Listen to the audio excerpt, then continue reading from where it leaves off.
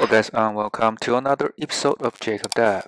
So in today's topic, we're going to talk about how to run AI agents directly in your terminal instead of using any IDEs. So uh, hopefully this is interesting and let's get started. Um, so the first app we're going to install uh, when you run AI agents directly in terminal uh, is called uh, uh, NeoVim. It's another version of the Vim if you're already familiar with the Linux stuff, uh, basically you can just Google NeoVim um, and search for installation. They should be able to bring to this GitHub page and just go to the Linux section and just uh, use this pre-built archives. This is easiest way to set it up. Uh, do a curl command and move the uh, binary to this folder, just opt folder, and just add a path to it. So as easy as that. Um, after you install NeoVim on your Linux terminal, and then just go to this lazy Vim. It's uh, uh, basically a wrapper uh, on top of the NeoVim based on this uh, NeoVim package manager.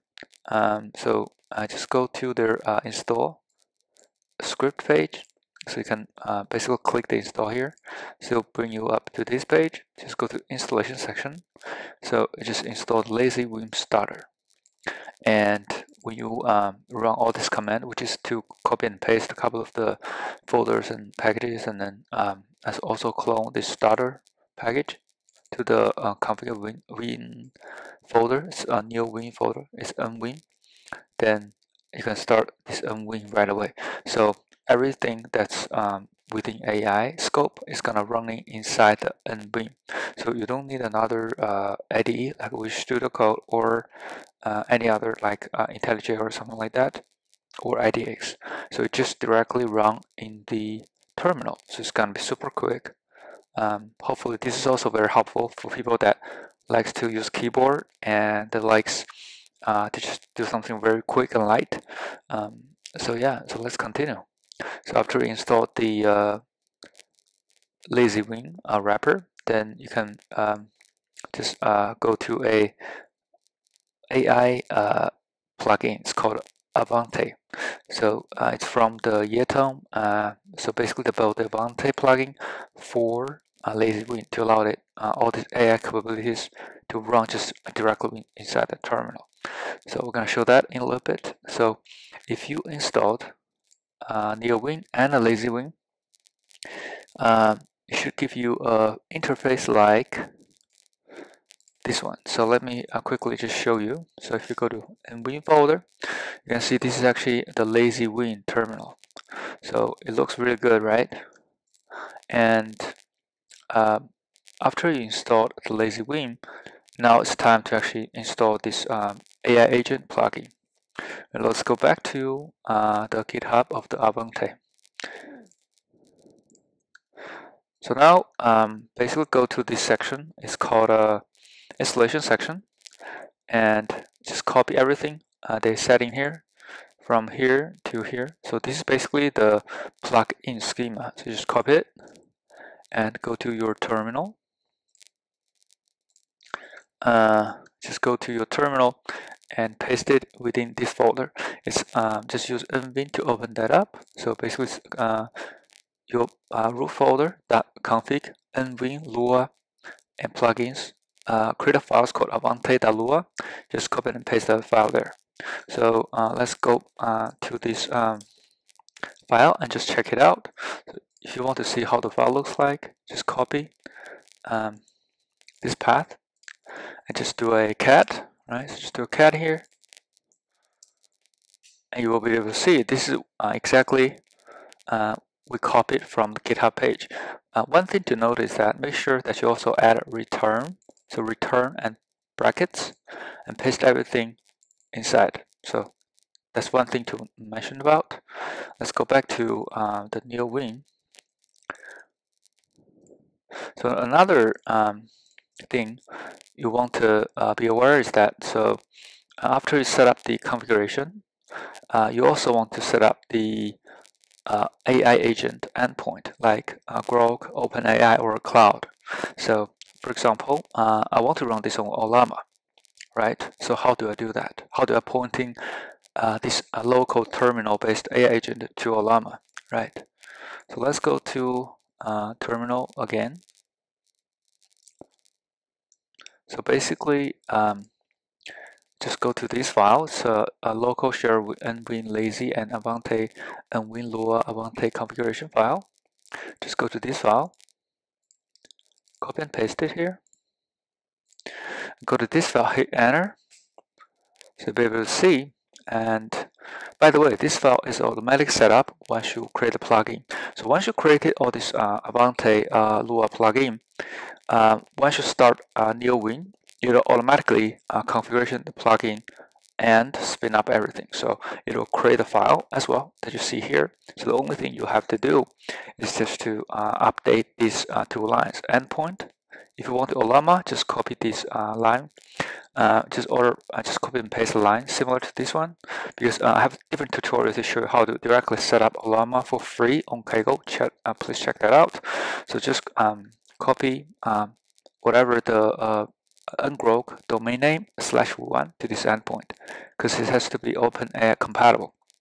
Or you can use uh, uh, Groq as well. Just do the uh, Groq standard configuration, api.groq.com, OpenAI.v1. Uh, the model, you can pick whatever model is available. For Groq, it would be Llama 3, uh, 0.170 versatile, for example. And for uh, the Ollama, you can use any model you want. So for this demo, we use Qwen 2.5 coder and um, you can just configure very simple. For, for Ollama, uh, you have to basically also set up the uh, OpenAI API key as an Ollama or any string you want. For Groq, just use the Groq console to get a Groq key and then do export. So let's go to uh, this um, page, basically the terminal page. Uh, so just export OpenAI, uh, OpenAI API key uh, whatever the API key you have. It can be uh, Groq API key or just specify anything if you use Ollama or if you use OpenAI Anthropic uh, Claude. So you can just copy the key um, and paste here as well. But uh, the key is a little bit different because um, if you use um, uh, if you use Claude or uh, if you use other uh, providers, uh, the key just use the key that they support. Uh, let's go back to the GitHub page. So you can see from here, so if you use the uh, uh, Anthropic, then use this key, uh, API key. Use uh, Azure uh, OpenAI, just use Azure OpenAI API key, similar this one. So that being said, let's continue. So after you set all that up, um, so it's time to run the AI agent, right? So that's the whole point here. Uh, so go to the terminal, just create any folder you want. Um, so let's uh, close this window and uh, what we have to do is basically we want to open nvim first and then we want to basically use it as a uh, sort of like a Visual Studio code but runs in terminal so you don't have to install anything else. And we just open up um, basically the window like that so it's similar to a file tree. Uh, it's called a neo tree in the NeoVim so then you can just uh, hit A which is to create a new file or a directory. Let's call it um, let's uh, want to create a minesweeper um, let's just say I want to create my server again. Let's create that. Hit enter. Uh, just hit enter again. So go to that file. And in this file, we just hit um, colon, and they will bring up the command line. And in the command line window or the pop-up, just type Avante ask. So it will give you uh, basically a prompt saying what is the open API key. Uh, let's say Ollama right? Hit enter. So because um, we use Ollama, so you can type whatever you want. So, and then we just hit um, enter to actually enter the key. Now, we want to create a Minesweeper game. Minesweeper game using Python that runs in terminal. Okay, and hit enter. So sorry, not here. Actually, it's a control save. So you can see the model we're using is Qwen. 2.5 coder and it's basically uh, from the endpoint that we configured. So it started a think and generate response. So you see that's actually working now. So start uh, thinking about it and start coding it.